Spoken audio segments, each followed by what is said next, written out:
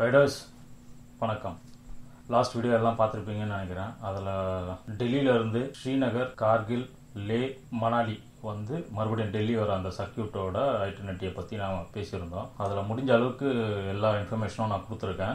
Last வீடியோவில் நான் சொல்லியிருந்த மாதிரி இந்த வீடியோ வந்து டெல்லியிலேருந்து மணாலி லே எப்படி ரீச் பண்ணுறது அதோட ஐட்டர்னட்டி என்ன அந்த ரூட்டோட டீட்டெயில்ஸை பற்றிலாம் இந்த வீடியோவில் நான் உங்களுக்கு சொல்கிறேன் எப்பவும் போல் நிறைய இன்ஃபர்மேஷன் இருக்கும். ஸோ வீடியோவை வந்து ஸ்கிப் பண்ணாமல் கடைசி வரைக்கும் பாருங்கள் வாங்க வீடியோக்குள்ளே போகலாம்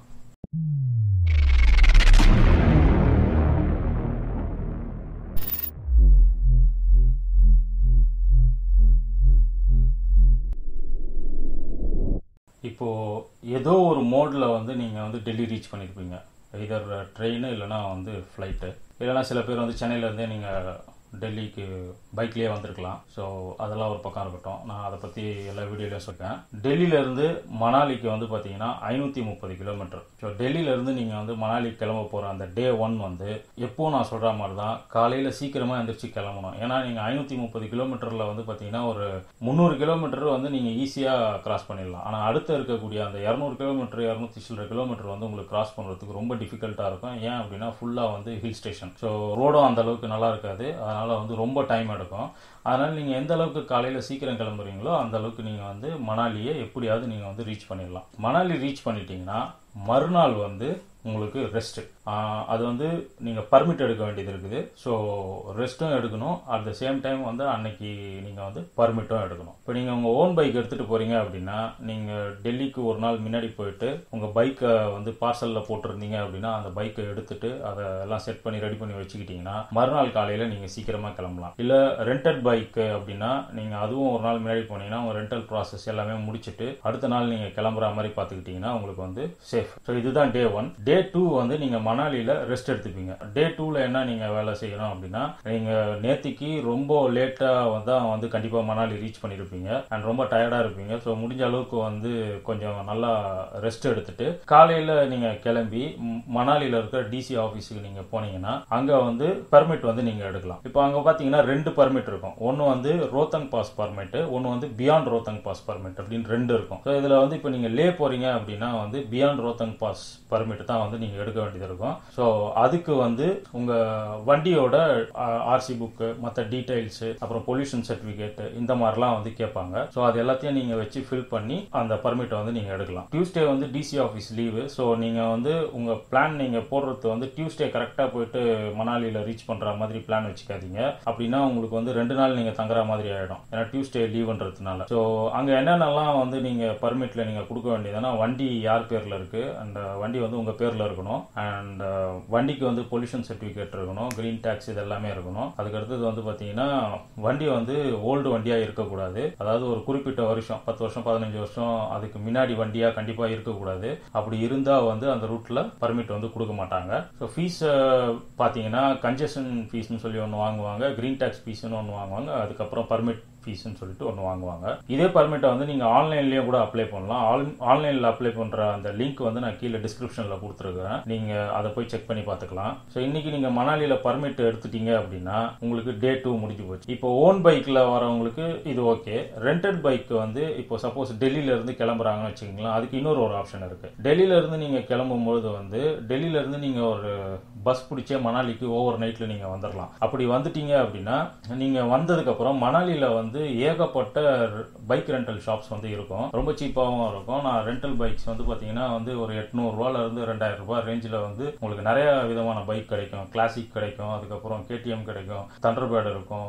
ஹிமாலயன் இருக்கும். இது எல்லாமே வந்து இந்த எட்நூறுரூபால இருந்து ரெண்டாயிரம் ரூபாய் ரேஞ்சில் உங்களுக்கு கண்டிப்பாக அங்கே கிடைச்சிரும். ஸோ அதை நீங்கள் வந்து வண்டியை எடுத்துட்டு அதுக்கப்புறம் நீங்கள் டிசி ஆஃபீஸில் போயிட்டு அதுக்கான பர்மிட் வந்து நீங்கள் அப்ளை பண்ணி வாங்கிட்டதுக்கப்புறம் அன்னைக்கு ஒரு நாள் நீங்கள் அங்கே தங்கி மணாலி கொஞ்சம் லைட்டாக சுற்றி பார்த்துட்டு டே த்ரீ வந்து நீங்க கிளம்பலாம். டே த்ரீ வந்து பாத்தீங்கன்னா மணாலி டு சர்ச்சு மணாலி டு சர்ச்சு வந்து ஒரு இருநூத்தி இருபது கிலோமீட்டர் வரும். அண்ட் uh, நாம வந்து தங்க போறது வந்து பாத்தீங்கன்னா சர்ச்சுல தான் தங்க போறோம். ஸோ சர்ச்சுல வந்து உங்களுக்கு லக்ஸரியான டென்ட்ல இருந்து ஒரு நார்மல் டென்ட் வரைக்கும் உங்களுக்கு அங்கே கிடைக்கும். ஸோ ஃபுல்லாக வந்து அங்கே டென்ட் ஸ்டே தான். டென்ட் ஸ்டேவோட ரேட்டு பார்த்தீங்கன்னா வந்து ஒரு முந்நூறுரூபால இருந்து ஆயிரத்தி ஐநூறுரூபா வரைக்கும் இருக்கும். ஸோ முந்நூறுரூவா வந்து உங்களுக்கு ஒரு நார்மல் டென்ட்டு எல்லாரும் ஒன்றா தங்குற மாதிரி தான் இருக்கும். உங்களுக்கு தனியாக ஒரு பெட் இருக்கும். ஸோ அந்த மாதிரி ஒரு முந்நூறுரூவா ரேஞ்சில் இருந்து ஒரு ஆயிரத்தி ஐநூறுரூவா ரேஞ்ச் வரைக்கும் வரும். முந்நூறுரூவாய்க்கு கம்மியாகவும் கிடைக்க வாய்ப்பு இருக்குது. பட் மினிமமாக முந்நூறுரூவா கண்டிப்பாக ஆகும். சர்ச்சுல வந்து பார்த்தீங்கன்னா தங்கறது வந்து கொஞ்சம் அவாய்ட் பண்ணணும். ஏன் அப்படின்னா வந்து சர்ச்சு வந்து ஹை ஆல்டிடியூடு ஸோ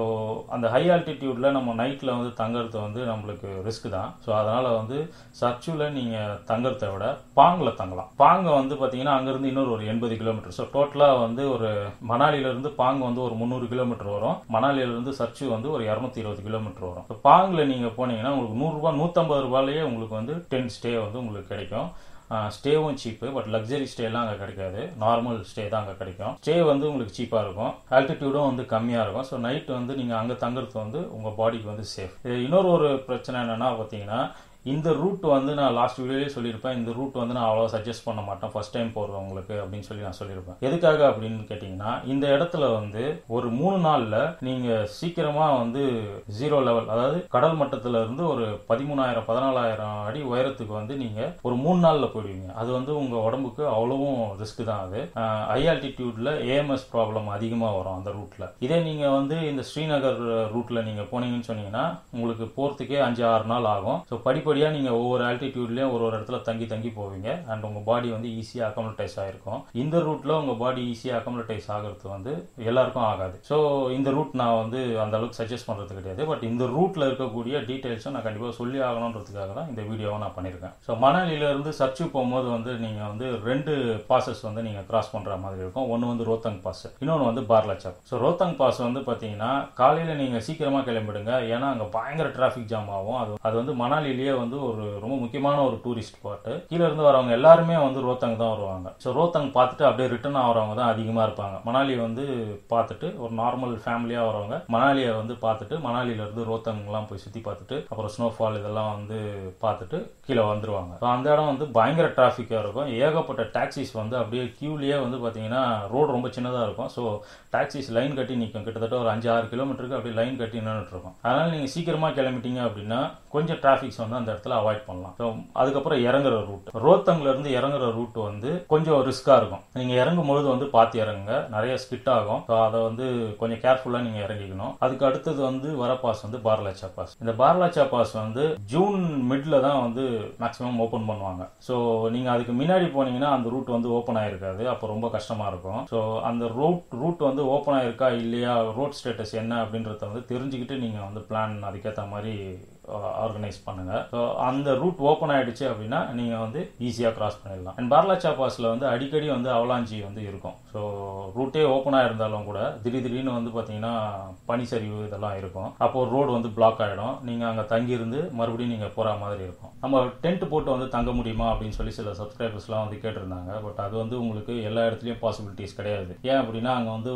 முக்கால்வாசி வந்து மிலிட்ரி கண்ட்ரோலில் இருக்கும். ஸோ அந்த இடத்துல நீங்கள் போய் டென்ட் போட்டிங்கன்னா அது இல்லீகல் ஆகிடும் சில ப்ரைவேட் லேண்டில் வந்து நீங்கள் பர்மிஷன் வாங்கி டென்ட் போடலாம். பட் அதுக்கான வாய்ப்பு வந்து உங்களுக்கு அவ்வளோவா இருக்காதுன்னு நினைக்கிறேன். ஏன் அப்படின்னு கேட்டிங்கன்னா நீங்கள் மணாலியிலேருந்து சர்ச்சு ரீச் பண்ணிட்டீங்கன்னா சர்ச்சில் ஆல்ரெடி வந்து டென்ட் பிச் பண்ணியிருப்பாங்க நீங்கள் அங்கே போயிட்டு ஒரு இரநூறுவா முந்நூறுவா கொடுத்துட்டு நீங்கள் தங்கிடலாம். பட் இதுக்கு இடையில பார்லாச்சா சொன்னேன் இல்லையா? அங்கே வந்து பார்த்தீங்கன்னா சில சமயம் அவலாஞ்சி இந்த மாதிரிலாம் வரும் வாய்ப்பு இருக்கும் அப்படின்னு சொல்லியிருந்தேன் பார்த்தீங்களா அந்த மாதிரி ஏதாவது ஏற்பட்டுடுச்சு. அப்போ நாம வந்து தங்க வேண்டிய வாய்ப்பு இருக்கு அப்படின்னா கொஞ்சம் ஒரு நாள் ஸ்டே பண்ணி போக வேண்டிய வாய்ப்பு ஆயிடுச்சு அப்படின்னா அந்த சமயம் நம்மளுக்கு வந்து நம்மளோட ஓன் டென்ட் வந்து யூஸ் ஆகும். எப்படி யூஸ் ஆகும் அப்படின்னா பார்லாச்சாக்கு முன்னாடி வந்து ஜிங்ஜிங் பார்னு சொல்லிட்டு ஒரு பிளேஸ் ஒன்று வரும். அங்கே உங்களுக்கு ரெண்டு மூணு தாபா இருக்கும் டென்ட் ஸ்டே அங்கே இருக்கும். ஸோ நிறைய பேர் இருந்தாங்க அவங்க ஆல்ரெடி அதை எடுத்துட்டாங்க அப்படின்னா உங்களுக்கு தங்குறதுக்கு அங்கே வாய்ப்பு இருக்காது. ஸோ அந்த மாதிரி சமயத்தில் நீங்கள் கையில் வச்சிருக்க டென்ட்டை வந்து நீங்கள் போட்டு தங்கிக்கலாம். ஆனால் கம்பல்சரி ஸ்லீப்பிங் பேக் இருக்கணும். இருந்தால் தான் உங்களால் தங்க முடியும். டென்ட் ஸ்டேயில் உங்களுக்கு பழக்கம் இருந்தால் மட்டும் நீங்கள் தங்குங்க. இல்லைன்னா அது வந்து உங்களுக்கு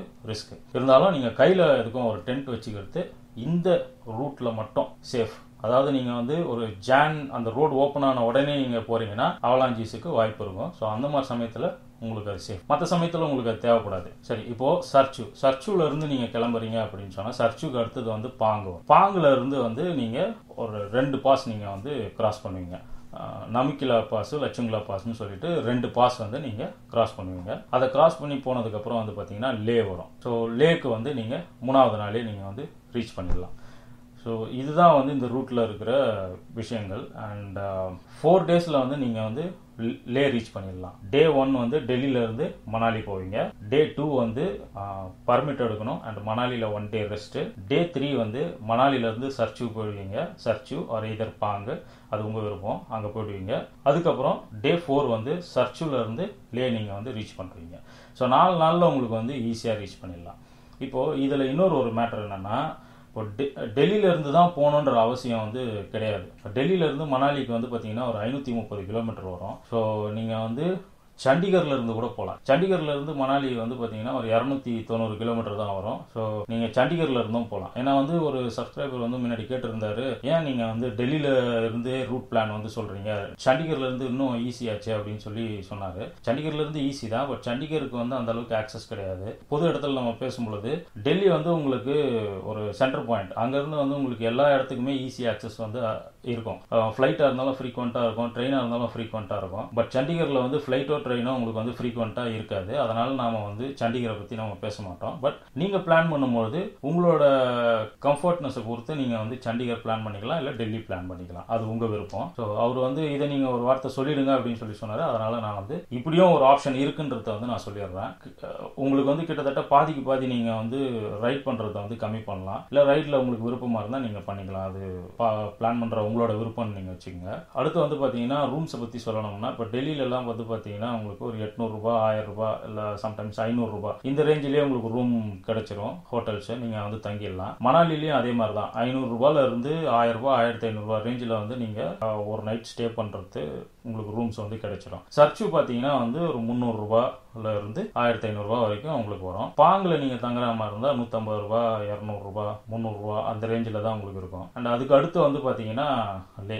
லேல வந்து உங்களுக்கு வந்து ஃபைவ் ஹண்ட்ரட்ல இருந்து லக்ஸரியாக போனால் அது எவ்வளோ வேணால் வேணாலும் இருக்குது. ஸோ மினிமமாக ஃபைவ் ஹண்ட்ரட்லேயே வந்து உங்களுக்கு ரூம்ஸ் கிடைக்கிறதுக்கான வாய்ப்பு வந்து அங்கே அதிகம். அடுத்து இந்த ரூட்டில் பெட்ரோல் பங்க்ஸை வந்து பற்றி சொல்லணும்னா இப்போ நீங்கள் டெல்லியிலேருந்து மணாலி போகிற வரைக்கும் உங்களுக்கு எந்த பிரச்சனையும் கிடையாது. வழியார உங்களுக்கு வந்து எங்கே நினச்சாலும் பெட்ரோல் பங்க்ஸ் இருக்கும். நீங்கள் ஃபில் பண்ணிக்கலாம். மணாலியிலேருந்து லே போகிற ரூட்டில் வந்து பெட்ரோல் பங்க்ஸ் இருக்காது. தண்டி. இப்போ வந்து மணாலியிலேருந்து ரோத்தங் பாஸ். ரோத்தங் பாஸில் அதுக்கு அடுத்தது இறங்கி கொஞ்சம் போனீங்கன்னா தண்டின்ற ஒரு ஊர் வரும். அதுதான் வந்து லாஸ்ட் பெட்ரோல் பங்க் அந்த இடத்துல நீங்கள் கம்பல்சரி பெட்ரோல் ஃபில் பண்ணிக்கங்க. உங்கள் வண்டியில் கேன் எதனா இருந்தால் இருந்தாலும் உங்கள் பைக்கோட மைலேஜுக்கு ஏற்ற மாதிரி நீங்கள் ஃபில் பண்ணுங்கள் மைலேஜ் எப்படி கால்குலேட் பண்ணணும் அப்படின்றத வந்து முன்னாடி போட்டிருந்த வீடியோவில் நான் சொல்லியிருப்பேன். பார்க்காதவங்க அதை பார்த்து தெரிஞ்சுக்கோங்க. ஸோ மைலேஜ் கால்குலேட் பண்ணி அதுக்கேற்ற மாதிரி நீங்கள் பெட்ரோல் வந்து வாங்கிக்கோங்க. தண்டியை விட்டிங்கன்னா அதோட கரு ரீச் பண்ணும்போது தான் உங்களுக்கு பெட்ரோல் பம்ப் வரும். கரு வந்து பார்த்தீங்கன்னா லேக்கு முன்னாடி வர்றது முன்னாடி ஊர். ஸோ கரு போனதுக்கப்புறம் தான் உங்களுக்கு பெட்ரோல் பங்கே இருக்கும். இதுக்கு இடையில பெட்ரோல் பங்க் எங்கேயுமே இருக்காது. அதுக்கப்புறம் வந்து பார்த்தீங்கன்னா ஹாஸ்பிட்டல்ஸ். மணாலியில் உங்களுக்கு ஹாஸ்பிட்டல்ஸ் இருக்கும். அண்ட் uh, கெலாங் தாண்டி போகும்போது தார்ச்சா இந்த இடத்துலலாம் வந்து ஆர்மி ஹாஸ்பிட்டல்ஸ் வந்து ஒரு ரெண்டு மூணு இடத்துல வரும். அப்புறம் பாங்கில் வந்து ஹாஸ்பிட்டாலிட்டி இருக்குது சர்ச்சுலேயும் வந்து ஹாஸ்பிட்டல்ஸ் இருக்குது ஐ மீன் uh, பாங்லேயும் சர்ச்சுலேயும் வந்து அது வந்து military hospitals so first aid மட்டும்தான் உங்களுக்கு அங்கே இருக்கும். அதை விட்டிங்கன்னா அதுக்கப்புறம் வந்து லே தான். லேல வந்து ஒரு ஜென்ரல் ஹாஸ்பிட்டல் இருக்குது ஸோ அங்கே உங்களுக்கு நீங்கள் எல்லா ஃபெசிலிட்டியும் அவைலபிளாக இருக்கும். மெக்கானிக் பைக்கு வந்து பார்த்தீங்கன்னா சர்வீஸ் பண்ணுறதெல்லாம் லேல வந்து உங்களுக்கு வெரைட்டி ஆஃப் ஆப்ஷன்ஸ் இருக்குது இன்னொரு தடவை டிஸ்டன்ஸை பற்றி கிளியராக சொல்கிறேன் டெல்லியிலேருந்து மணாலிக்கு வந்து ஐநூற்றி முப்பது கிலோமீட்டர் வரும். சப்போஸ் நீங்கள் சண்டிகர்லேருந்து போகிறீங்கன்னா இரநூத்தி தொண்ணூறு கிலோமீட்டர் வரும். மணாலியிலேருந்து சர்ச்சு வந்து பார்த்தீங்கன்னா ஒரு இரநூத்தி இருபது கிலோமீட்டர் வரும். சப்போஸ் நீங்கள் சீக்கிரமாக சர்ச்சு ரீச் பண்ணிட்டீங்கன்னா நீங்கள் வந்து சர்ச்சில் தங்காமல் பாங்கிலே போய் தங்கிடலாம். அது வந்து சர்ச்சில் இருந்து ஒரு எண்பது கிலோமீட்டர் எக்ஸ்ட்ரா வரும். ஸோ சப்போஸ் நீங்கள் சர்ச்சில் தங்குறீங்கன்னா சர்ச்சுலேருந்து லே போகிறதுக்கு வந்து இரநூத்தம்பது கிலோமீட்டர் வரும். ஸோ டோட்டலாக வந்து த்ரீ டேஸ் ட்ராவல் தான் இருக்கும். இடையில ஒரு நாள் வந்து நீங்கள் மணாலியில் தங்கி நீங்கள் வந்து பர்மிட் எடுக்கிற மாதிரி இருக்கும். அண்ட் ரெஸ்ட்டும் நீங்கள் எடுத்துக்கிற மாதிரி இருக்கும். ஆல்ரெடி இந்த சர்க்கியூட் ஃபுல்லாகவே நான் வந்து சொல்லியிருக்கேன். இந்த ரூட்டில் பர்மிட் எடுத்துகிட்டு போகிறது ஸோ இதை பற்றின டீட்டெயில் வேணுன்றதுக்காக இந்த ரூட் மட்டும் தனியாக நான் இப்போ ஒரு வீடியோ வந்து போட்டிருக்கேன். என்ன கேட்டிங்கன்னா புதுசாக போகிறவங்க வந்து நீங்கள் வந்து டெல்லி ஸ்ரீநகர் கார்கில் லே அதுக்கப்புறம் அந்த லேயில் இருக்கிற நுப்ரா வேலி அப்புறம் மற்ற பிளேஸ்லாம் வந்து நீங்கள் சுற்றி பார்த்துட்டு மணாலி வழியாக நீங்கள் டெல்லிக்கு வந்துட்டீங்கன்னா ஒரு சர்க்கியூட் வந்து கம்ப்ளீட் பண்ணுவீங்க. உங்கள் பாடியும் வந்து படிப்படியாக அக்கமடேஸ் ஆகிருக்கும் உங்களுக்கு இந்த ஏஎம்எஸ் பிரச்சனையும் வராது. அண்ட் டெல்லியிலேருந்து மணாலி போயிட்டும் நீங்கள் வந்து லே போய் லேலேருந்து கார்கில் ஸ்ரீநகர் மறுபடியும் டெல்லிக்கு வரலாம். பட் இந்த இந்த ரூட் வந்து ரொம்ப சீக்கிரமாக நீங்கள் ஹை ஆல்டிடியூடுக்கு போயிடுறதுனால உங்களுக்கு வந்து ஏஎம்எஸ் ப்ராப்ளம் வர்றதுக்கான வாய்ப்பு இருக்கும். அதனால் இதை நான் இந்த ரூட்டை வந்து நான் புதுசாக போகிறவங்களுக்கு சஜஸ்ட் பண்ணுறது கிடையாது. பட் ஜம்முவும் ஸ்ரீநகர்லேயும் வந்து பார்த்தீங்கன்னா அடிக்கடி பிரச்சனைகள் இருக்கும். ஸோ அந்த இடத்துல அடிக்கடி ரோட் க்ளோஷர் இருக்கும். அந்த மாதிரி சமயத்தில் நீங்கள் வேறு வழியே கிடையாது. இந்த பக்கம் தான் போய் ஆகணும். அப்போது உங்களுக்கு நான் கொடுத்துருக்க இன்ஃபர்மேஷன் வந்து யூஸ்ஃபுல்லாக இருக்கும். அதுக்கப்புறம் வந்து பார்த்தீங்கன்னா பர்மிட் மணாலியில் பர்மிட் எடுக்கிறத பற்றியும் லேல பர்மிட் எடுக்கிறத பற்றியும் ஒரு டீட்டெயிலாக ஒரு சின்ன வீடியோ ஒன்று அதுக்கு அடுத்ததாக நான் போடுறேன். ஸோ பர்மிட்டும் வந்து உங்களுக்கு கிளியர் ஆகிடும் டவுட்ஸில் இதுக்கு அடுத்தது வந்து பார்த்தீங்கன்னா நெக்ஸ்ட் வீடியோவில் நான் வந்து இதுக்கு இது வரைக்கும் என்னை வந்து நிறைய பேர் வந்து கமெண்ட்ஸில் ஏகப்பட்ட கொஸ்டின்ஸ் வந்து கேட்டிருக்காங்க. ஸோ இதுக்கு அடுத்த போகிற வீடியோ வந்து பார்த்தீங்கன்னா அந்த கமெண்ட்ஸ்க்கு எல்லாத்துக்குமே ஒரு ஆன்சர் பண்ணுற ஒரு வீடியோவாக தான் அது இருக்க போகுது. இந்த வீடியோலையும் உங்களுக்கு இருக்கக்கூடிய டவுட்ஸை வந்து நீங்கள் கீழே கமெண்ட்ஸில் நீங்கள் போட்டுருங்க. ஸோ கொஞ்ச நாள் விட்டோம்னா எத்தனை பேர் கமெண்ட் பண்ணுறீங்களோ எவ்வளோ கொஸ்டின்ஸ் வந்திருக்கோ அதுக்கேற்ற மாதிரி அதை நான் செலக்டடாக செலக்ட் பண்ணி அந்த கொஸ்டின்ஸ்க்கு எல்லாத்துக்கும் வந்து நான் ஆன்சர் சொல்லி ஒரு வீடியோ வந்து நான் நெக்ஸ்ட் வீடியோ நான் போடுறேன். என்னோடய எல்லா வீடியோலையும் நான் வந்து எல்லாமே டீட்டெயிலாக சொல்லியிருப்பேன். ஸோ எல்லா வீடியோவும் நீங்கள் பார்த்தீங்கன்னா உங்களுக்கு வந்து கிளியராக உங்களுக்கு தேவையான இன்ஃபர்மேஷன் எல்லாமே வந்து கிடைச்சிரும். என்னோடய எல்லா வீடியோவும் நீங்கள் பார்த்துட்டு அதுக்கப்புறம் உங்கள் டவுட்டை வந்து கேட்டிங்கன்னா நல்லாயிருக்கும். ஏன் அப்படின்னு சொன்னால் சில பேர் ஒன்று ரெண்டு வீடியோ பார்த்துட்டு டவுட்ஸ் வரும். பட் அதை நான் வேறு வீடியோவில் அந்த டவுட்டுக்கான ஆன்சர் வந்து நான் சொல்லியிருப்பேன். ஸோ எல்லா வீடியோவும் நீங்கள் பார்த்துட்டு அதுக்கப்புறம் நீங்கள் டவுட் வந்து கேட்டிங்கன்னா இன்னும் கொஞ்சம் உங்களுக்கு ஆல்ரெடி கிளியர் ஆகிருக்கும் ஸோ அந்த டவுட் நீங்கள் கேட்கலாமா வேணாமான்னு உங்களுக்கே தெரியும். ஸோ அவ்வளோதான் கைஸ் உங்களுக்கு ஏதாவது சந்தேகங்கள் எதுவாக இருந்தாலும் கீழே கமெண்ட்ஸில் வந்து நீங்கள் கேளுங்கள் அண்ட் என்னோட இன்ஸ்டாகிராம் ஐடி வந்து கீழே வரும். அதையும் நீங்கள் வந்து ஃபாலோ பண்ணுங்கள் உங்களுக்கு எந்த விதமான டவுட்டாக இருந்தாலும் இமீடியட்டாக ஆன்சர் வேணும் அப்படின்னா நீங்கள் இன்ஸ்டாகிராமில் மெசேஜ் பண்ணிங்கன்னா நான் கண்டிப்பாக வந்து இமீடியட்டாக ரிப்ளை பண்ணுவேன். ஸோ நீங்கள் இமீடியட்டாக காண்டாக்ட் பண்ணுறதுக்கு என்னோட இன்ஸ்டாகிராம் வந்து நீங்கள் யூஸ் பண்ணிக்கலாம். ஸோ நம்ம சேனலுக்கு வந்து இது வரைக்கும் சப்ஸ்கிரைப் பண்ணாதவங்க சப்ஸ்கிரைப் பண்ணிடுங்க. புதுசாக நம்ம சேனலை பார்க்குறவங்க மற்ற வீடியோஸையும் வந்து பாருங்கள் பார்த்துட்டு உங்களுக்கு பிடிச்சிருந்தா உங்களோட கமெண்ட்ஸை வந்து கீழே கொடுங்க. மறக்காமல் சேனலுக்கு சப்ஸ்கிரைப் பண்ணுங்கள் பக்கத்தில் இருக்க பெல் ஐக்கான் ப்ரெஸ் பண்ணிவிடுங்க அப்போ தான் நான் போடுற வீடியோஸ் எல்லாம் உங்களுக்கு நோட்டிஃபிகேஷன் வரும். நெக்ஸ்ட் வீடியோவில் பார்ப்போம். பாய்